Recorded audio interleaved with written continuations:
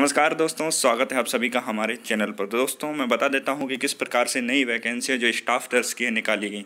एक बात तो याद कर लीजिए कि जो कोविड नाइन्टीन है, उसमें पहले भी स्टाफ नर्स की वैकेंसी निकाली गई थी, जो कि परमानेंट नहीं थी, अब वो संविदा थी।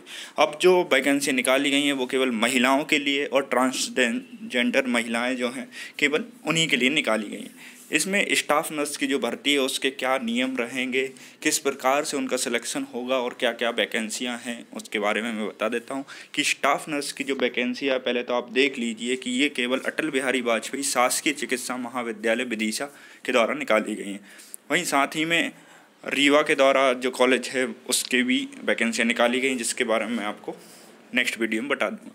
तो इस वीडियो में आप देख लीजिए कि विदिशा का जो कॉलेज है, गवर्नमेंट कॉलेज, जो अभी हाल ही में बनाया गया है, उसमें स्टाफ नर्स की वैकेंसियाँ निकाली गई हैं, जिसमें दो प्रकार की वैकेंसियाँ हैं, सीधी भर्ती और संविदा भर्ती। तो सीधी भर्ती और संविदा भर्ती में फ़र्क यही है कि सीधी भर्ती जो रहेगी, आपकी परमानेंट वैकेंसी हैं, जिसके पद हैं तीन सौ बाईस। वहीं संविदा जो पद हैं, वो छियालीस है और पाँच वर्ष तक संविदा पर आपको नियुक्त किया जाएगा।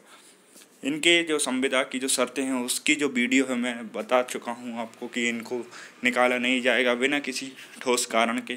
साथ में इनको बीस प्रतिशत का जो रिजर्वेशन अन्य आने वाली वैकेंसी को में भी दिया जाएगा। तो आवेदन आप कर सकते हैं। आज से ही चालू हो गए हैं। आवेदन दस मई तक आप कर सकते हैं। तो वैकेंसी किस प्रकार से हैं? अनारक्षित के लिए बहत्तर वैकेंसी हैं। अनार आर्थिक रूप से कमज़ोर के लिए सत्ताईस एस के लिए फोर्टी फोर एस के लिए फिफ्टी फाइव ओ के लिए सेवेंटी थ्री वैकेंसियाँ निकाली गई। वहीं संविदा हेतु जो पद हैं, उसमें दस पद U R K E W S seven S C पाँच एस टी बारह और ओ बी सी के कोई भी पद नहीं तो किस प्रकार से जो वैकेंसी हैं वो निकाली गई? इन वैकेंसियों में सिर्फ़ महिलाएँ आवेदन कर सकती हैं और ट्रांसजेंडर महिलाएँ आवेदन कर सकती हैं। तो इनकी जो रिक्तियाँ हैं, वो एकाधिकार है, जैसे कि कॉलेज की तरफ़ से निकाली गई हैं। इसकी जो सैलरी है, उसके बारे में बता देता हूँ अट्ठाईस हज़ार सात सौ का बेसिक पे रहेगा। इसके साथ ही आपको महँगाई भट्टा डी ए टी ए भी दिया जाएगा। स्टाफ नर्स के लिए जो है, आपको बायोलॉजी के साथ ट्वेल्थ होनी चाहिए। बी एस सी हो, और जिसके एस सी है तो उसको अतिरिक्त लाभ मिलेगा।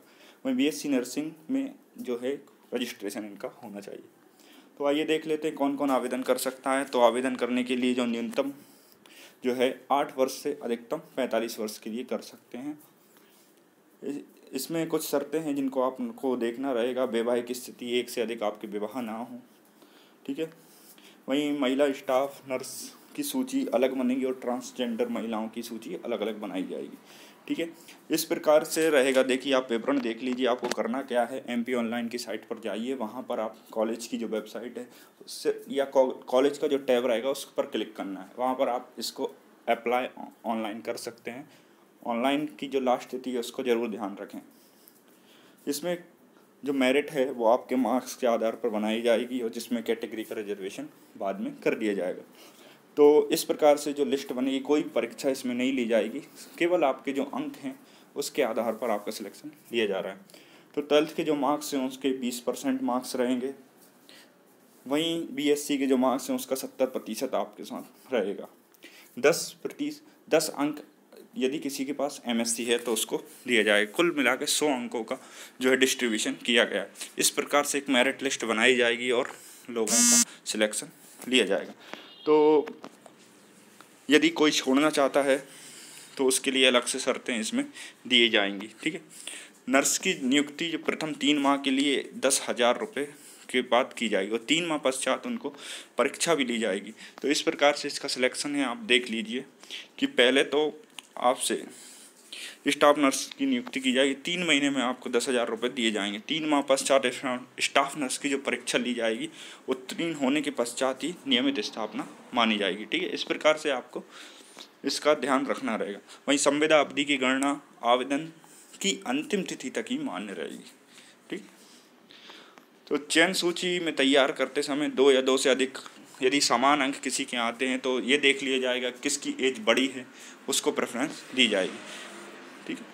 यदि और भी अंक होते हैं तो उनके बारहवीं के अंक, यानी इस प्रकार से देखा जाएगा। सभी प्रकार से बीएससी में किसी के यदि बराबर हैं तो ट्वेल्थ के देख लिए जाएँगे। ट्वेल्थ में बराबर है तो बीएससी और एमएससी के इस प्रकार से देख लिए जाएँगे। तो यही इसकी शर्तें हैं। वहीं इसकी तारीख याद रखिए कि 24 अप्रैल से 10 मई तक आप इसके लिए आवेदन कर सकते हैं। आवेदन करने के लिए जो फ़ीस है वो एक हज़ार रुपये आठ सौ रुपये और नौ सौ रुपये का वर्गीकरण किया गया। आवेदन किस प्रकार से करना है, वो एक सिंपल सा तरीका मैं आपको पहले भी बता चुका हूँ कि एमपी ऑनलाइन की साइट पर आपको जाना है। वहाँ पर आपको जन्म तिथि मार्कशीट, सर्टिफिकेट, डिप्लोमा, सभी की जानकारी भर देना है। इसके पश्चात आप इसके लिए एलिजिबल हो जाएँगे। तो आप इसके लिए अप्लाई कर दीजिए, जो भी इसके लिए इच्छुक हैं। आप सभी का चैनल से जुड़े रहने के लिए धन्यवाद।